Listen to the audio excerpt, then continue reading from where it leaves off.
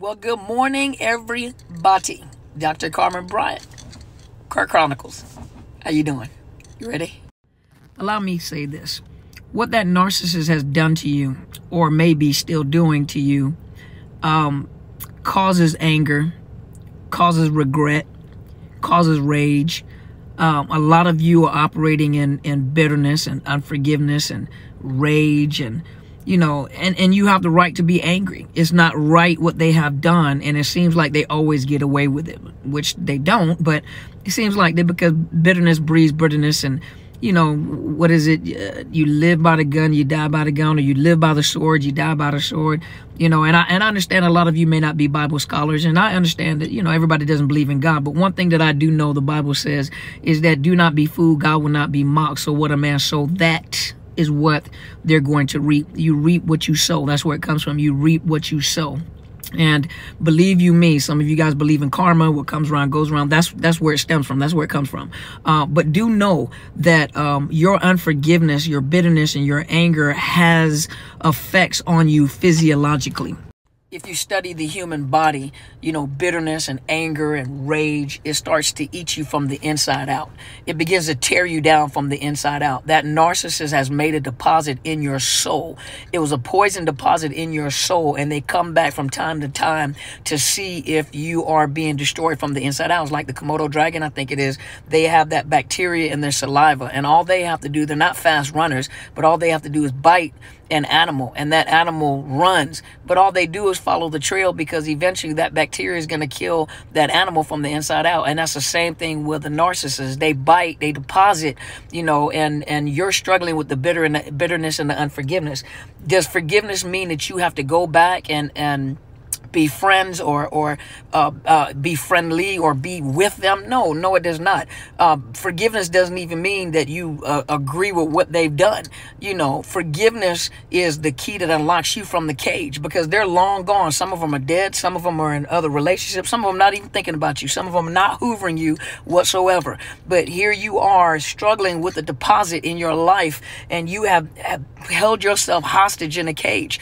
To forgive and to move on does not mean that you forget because to forget means you have amnesia. But to forgive means that now i'm going to move on with my life. And the thing that torments them the most is when they check and you're actually happy when you check and and you forgive them but i don't have anything to do with you. You know i love you from a distance or i don't have anything to do with you. There is no friendship. There is no ha ha kiki kaka you know but that that unforgiveness that is the key that's holding you inside of that cage. And i know some of you say i'll never forgive what you're saying is I'll never come out the cage. Go to part two. All right, this is part two. Uh, Dr. Carmen Bryant, Car Chronicles, and this is Narcissists Making Deposits in Your Soul. Um, so hopefully you watch part one. You got to go watch part one first.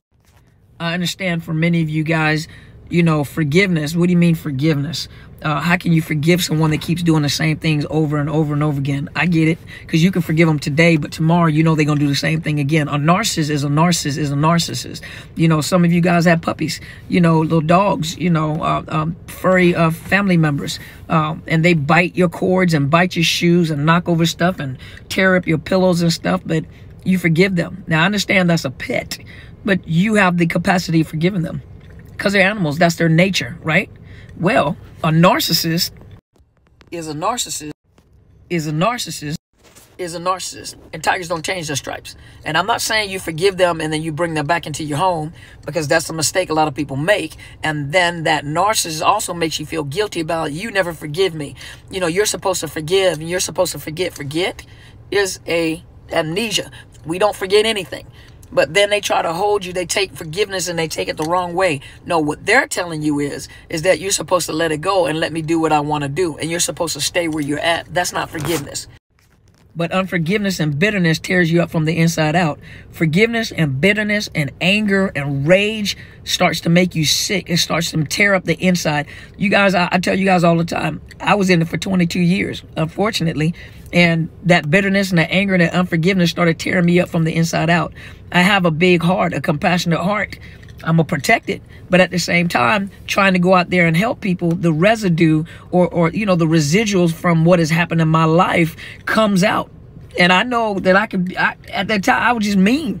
Just a mean individual. I'm trying to help, but at the same time, you know, if I get triggered, I was going to lash out. I was going to hook you up, you know. And I had to learn to forgive. And forgive does not mean that we were going to be friends. You guys have to see it that way. You got to un- uncage yourself, unlock yourself from the cage. That's poison that they put in you.